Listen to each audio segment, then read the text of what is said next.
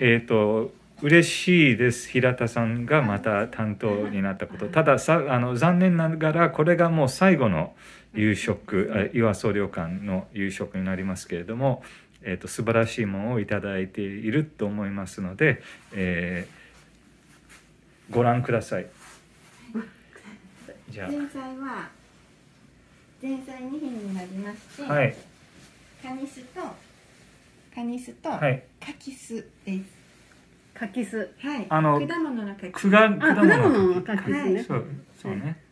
カニスとカキスカキスはいでこちらがオコゼの薄作りでございます。オコゼのおこぜ。うん。おおおおこぜっていうおこぜ種類のおこぜ魚。はい。うんでこの下にあるのはなんかはいオコゼの違う場所の実そうなんですか、ですね。皮と肝とはい、さえずりって言って喉のところと、はいお腹の一部です。へえそれをこのはい。はい。ポン酢でポン酢で薬味を足してははいい。お召し上がりください。ましたい食前酒はゆずレモンのお酒です。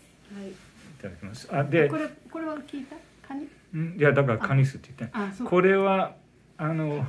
あれこれはあ、はい。なんていうお酒だったっ同けじです。ゴールド、鴨汁ゴールド。ちょっとボトルが違うかもしれないですけど。はい今日買ったやつ。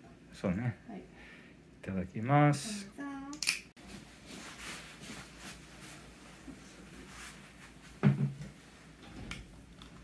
これ燃料が終わってもまだ火が入ってなければまた追加しますので。あのどれぐらい火を通す通したらこう通されたらあのタタイミング的には表面がはい。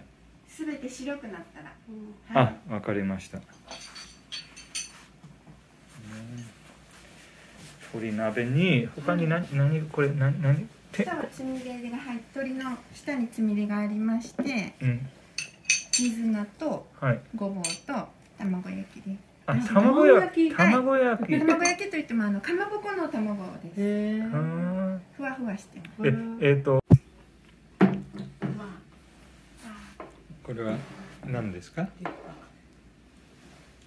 穴子の白焼きでございうます。ん卵の白はい焼き素晴らしい焼き栗にすどりみょうが銀杏です。山芋の不要焼きとすどちすだちか。はい。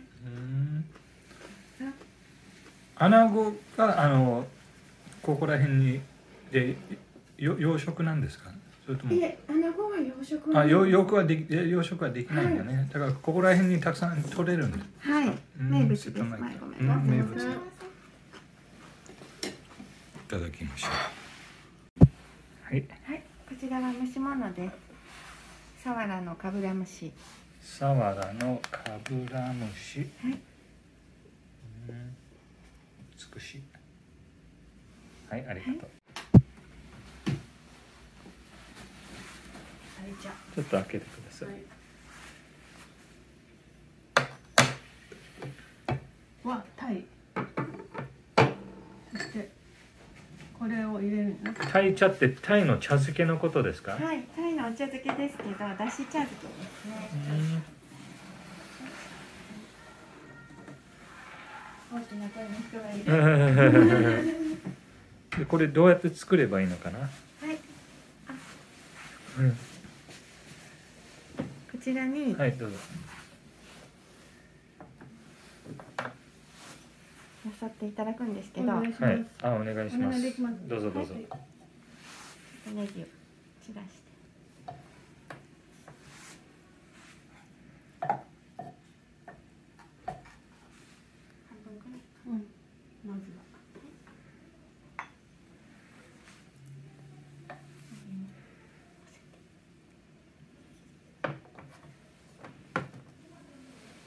わさびとごまだれとどちらがいいですか？あのこ好きなようにしてください じゃあまずわさびを。はい平田さんがこれを食べたいっていう通りに作ってください私はわさびが大好きです。はい、そしてお出汁。じゃじゃじゃじゃじゃん。おおはいどうぞ。お茶漬けとしてどうぞ。でこのこごまだれはどうするんですか、二膳目はごまだれでどうぞ。あそのままジャーっと。あもうよそっていただいてもいいですしそのままでも大丈夫あなるほど。でそれはあのごまとごまだれとごまです、うん。あでわさびじゃない。わさびもお好みでどうぞ。あわかりました、でタイをつけて食べる。つけて食べてもいいですし上からかけていただいてもいいです。はい、OK はい。いただきます。Thank you ありがとうございます。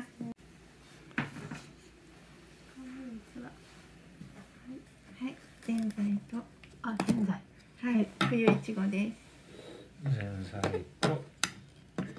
冬いちごはい。はい。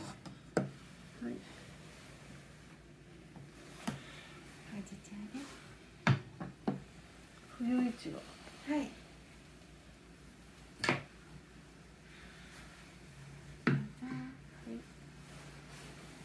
お腹いっぱいだけども。ぜんざいは。ぜんざい食べたいね。ねちょっと残せないかもしれない。はい。いただきます。ありがとう